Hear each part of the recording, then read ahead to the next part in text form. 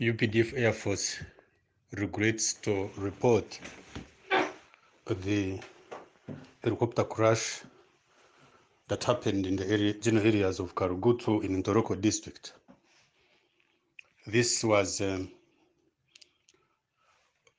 this was purely an accident.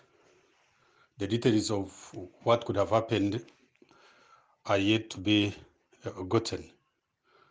But in the meantime, um, the helicopter crashed in, in in a place where it is said there was a, a house.